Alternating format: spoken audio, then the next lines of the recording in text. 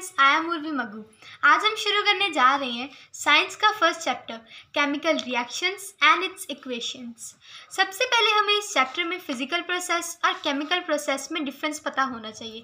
Then we proceed to chemical reactions first of all physical process the process in which chemical reaction do not occurred physical process वो process होते हैं जिसके अंदर chemical reaction की कोई involvement नहीं होती है। केमिकल रिएक्शन का मतलब जैसे एक या एक से ज़्यादा रिएक्टेंट एक दूसरे के साथ रिएक्शन नहीं करते हैं एक या एक से ज़्यादा प्रोडक्ट फॉर्म करने के लिए।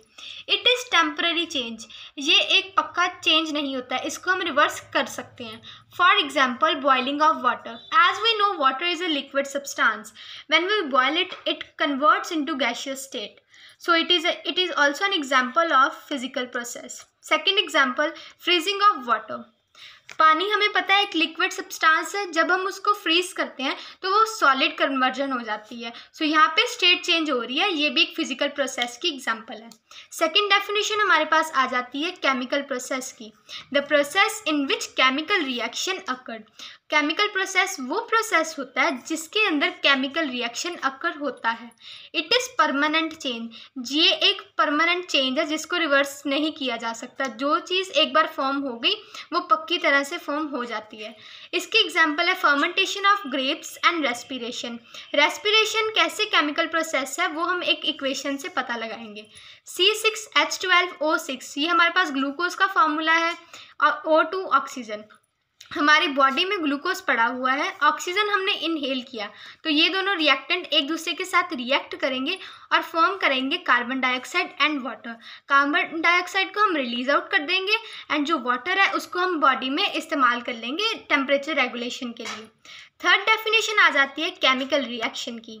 A chemical process in which certain substances react together to form some new substances with entirely different properties is called chemical reaction chemical reaction एक केमिकल प्रोसेस होता है, जिसके अंदर बहुत सारे सब्सटेंस एक दूसरे के साथ रिएक्ट करते हैं to to form some new substances कोई एक न्यू सब्सटेंस फॉर्म करने के लिए जिसकी प्रॉपर्टीज़ रिएक्टेंट से बहुत ज़्यादा डिफरेंट होती है। हम अब इसकी एक एग्जांपल देखेंगे। When hydrogen and oxygen react together water is formed H2 stands for hydrogen, O2 stands for oxygen, H2O stands for water. As we know, hydrogen is a gas oxygen is also a gas but water is a liquid so हमें यहाँ पर पता चल रहा है कि ये जो रिएक्टेंट थे, वो तो गैस थे बट जो प्रोडक्ट बना, वो लिक्विड था। तो यहाँ से हमें पता चलता है कि जो प्रोडक्ट था, उसकी जो प्रॉपर्टीज़ है रिएक्टेंट से डिफरेंट है। The properties of water are all together different from those of hydrogen and oxygen in a chemical reaction the substance which react together are called reactants and the new substance formed called product कहते हैं chemical reaction के अंदर जो substances react कर रहे हैं, उनको हम रिएक्टेंट्स कह देते हैं। जो एक सब्सटेंस फॉर्म हुआ है या एक से ज़्यादा सब्सटेंस फॉर्म हुए हैं, उनको प्रोडक्ट कहा जाता है।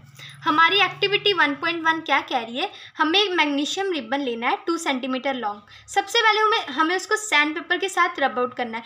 क्यों?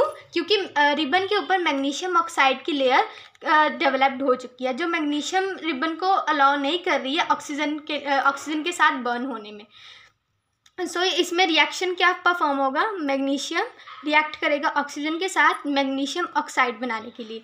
बट अगर हम यहाँ पर देखें तो मैग्नीशियम हमारे पास एक है और ओ टू यहाँ पे है ऑक्सीजन वन ठीक है? ये एक स्केलेटन इक्वेशन है। यहाँ पे बैलेंसिंग की नीड है। यहाँ पे मैग्नीशियम कितना वन यहाँ पे है वन बट ओ कितना है टू यहाँ पे है ओ सो so, हम इसको बैलेंस कैसे करेंगे? देखो सबसे पहले मैग्नीशियम लिया ऑक्सीजन है टू इधर एम जी ओ ठीक है? तो इधर ओ लगाएँगे क्योंकि ओ टू है। ये ऑक्सीजन तो बैलेंस हो गया बट मैग्नीशियम के आगे भी टू लग गया। सो हम इसको बैलेंस करने के लिए यहाँ पर भी टू लगाएँगे। ठीक है?